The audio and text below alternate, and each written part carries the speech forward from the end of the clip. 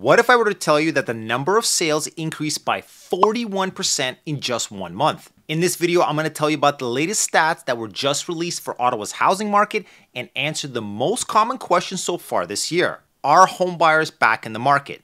Stick around.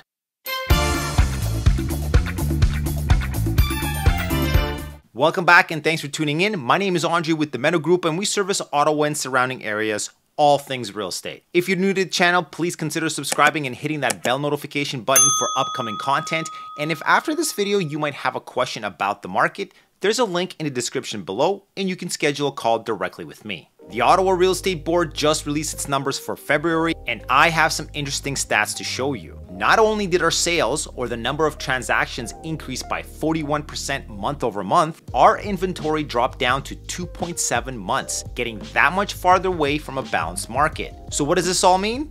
Let's take a look. Here we have our month over month comparison. On the left, we have our types of asset classes. So detached homes, semi-detached homes, townhomes, and condos. Um, on the bottom, we have days on market, months of inventory, and the number of sales.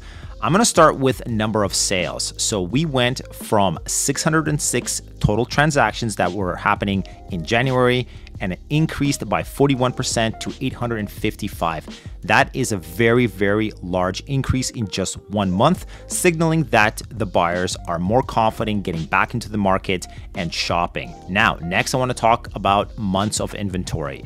Again, we went from 3.8, which was very, very close to a balanced market. A balanced market is four to six months of inventory. We're just right there on the edge. And again, in one month, we dropped down by more than one month of inventory. So, what this means is that the buyers now have less options than they did back in January. 2.7 months of inventory or available supply means that we are in a seller's market. It is not an aggressive seller's market like we saw last year in our peak market in January, February, and March. But again, it's going to signal that there are a little bit less options. So March will be an interesting month to see if we do get more listings on the market or where sellers kind of wait a little bit longer for the spring. Now, days on market. Again, we can see December was 38 increased to 44 and then it dropped down back to 40. Days on market include both. This is an average for both residential and condominium classes, but again, it's going to give us an idea of how long it will take for a transaction to happen.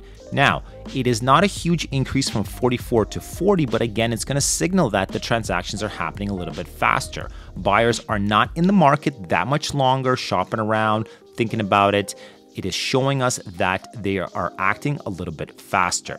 All right, let's talk about the asset classes. We'll start with detached homes. So, the most interesting thing about uh, last month for me was that detached homes um, increased by almost $55,000 in average price. We went from 710,000 to 764,000. That is a very aggressive increase in only one month. Again, going to signal that the buyers are looking at this type of asset class. Now, semi-detached homes dropped from 683 to 629. I still think this is a very interesting asset class, a lot uh, uh one that a lot of buyers don't take into consideration enough. You are going to get uh, more footprint, you are going to get more privacy and just a bigger overall home than, let's say, a townhouse. Um, so I think it's something that uh, buyers should definitely take into consideration, especially if you're in that townhome section.